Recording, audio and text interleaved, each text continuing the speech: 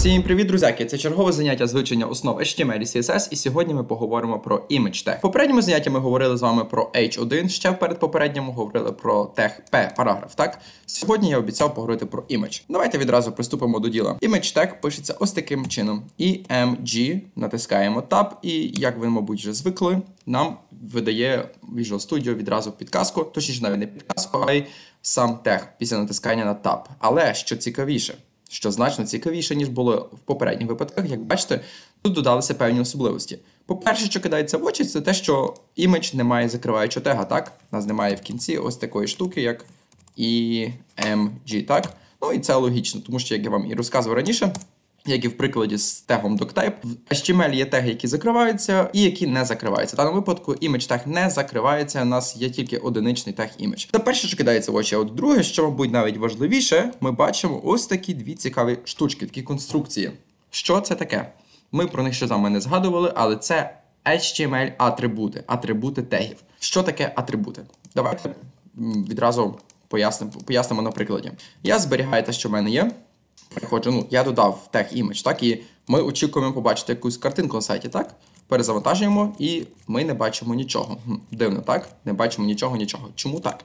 Ну, я думаю, це очевидно, бо ми не вказали, яку картинку ми хочемо побачити. Так, ніякого посилання, ніякої картинки тут не згадано. Власне, для цієї мети і використовуються HTML атрибути, які несуть певну додаткову інформацію про тег, певну додаткову, певні додаткові деталі. В даному випадку в тега image, і це важливо розуміти, кожен тег, ну не прям є атрибути спільні для всіх тегів, а є атрибути, які є унікальними для специфічних тегів. В випадку тег image унікальним для нього є тег source, який, наприклад, не має тег P, не має H і так далі. Його має наразі в нас тільки image. Знаю, можливо, ще якийсь, але ми говоримо зараз про image. Image має атрибут source. В атрибуті source, я думаю, як багато хто з вас здогадався, ми записуємо шлях або посилання на картинку, яку хочемо використати, яку хочемо підтягнути і показати на екрані. В даному випадку я спеціально для цього заняття скачав одну картиночку, і вона, як бачите, має назву Image е, і формат розширення JPEG, GPG, так.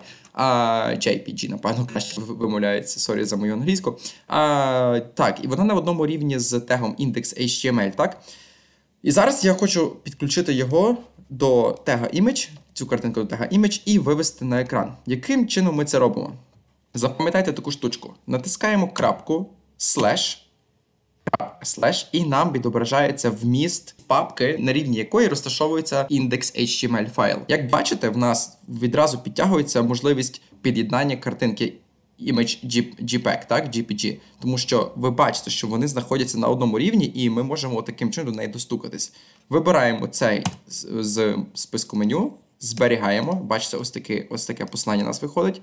Переходимо на сторінку, перезавантажуємо, і вуаля, є картинка. Все класно, нам все підтягнулося. Так, давайте використаємо зараз другий тег Alt.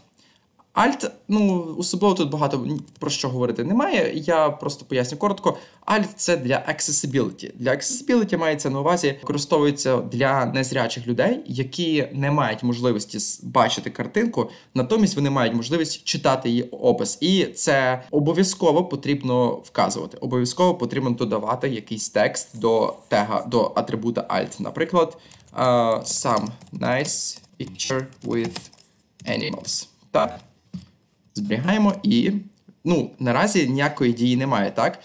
Для нас, в принципі, ми можемо бачити її, але, наприклад, вона несе в собі ще одну важливу деталь. Якщо, припустимо, ми би тут якось ну, помилилися з посиланням, написали якесь неправильно, приходимо назад, перезавантажуємо, і бачите, нам вибуває ось такий от текстик. Так, якщо воно несе собі дві цілі, взагалі атрибут Alt. Перша ціль, як я казав, accessibility, і незрячі люди мають можливість читати опис картинки, замість того, щоб її бачити. Так, друга ціль це якщо картинка погано підтягується, замість самої картинки відображається цей текст, який ми вкажемо тут. Тому його обов'язково потрібно вказувати. Повертаємось до правильного посилання. Ось так і виглядає у нас картинка, так? Єдине, що я хотів ще показати інший приклад. Дивіться, в нас зараз індекс HTML і image JPEG. Ця картинка на одному рівні з файлом index.html, так? Давайте створимо папку і назвемо її images. І в принципі, це така приблизно структура, з якою ви будете працювати в майбутньому. Ви, нико- ви ніколи не будете мати свій файл індекс HTML і картинки на одному рівні. Все має бути гарно погруповано, так? Має бути структуровано. І ми картинку перекидаємо в цю папку, перекинули, move, так. Все, її вже немає, і тепер вона, як бачите, трошки на іншому рівні. Так, у нас індекс HTML. На рівні з ним знаходиться папка Images. В папці Images знаходиться image JPG. Ми переходимо назад, перезавантажуємо, і бачите, нам зараз підтягується текст і не підтягується картинка. Чому? Правильно, тому що зараз тут поставлений, проставлений неправильний шлях. Для того, щоб проставити правильний шлях, ми знову ж таки натискаємо крапка слеш. І як бачите, нам вже підтягується папка Images. Натискаємо на папку і натискаємо на Image JPEG. Все, зберігаємо, повертаємось назад.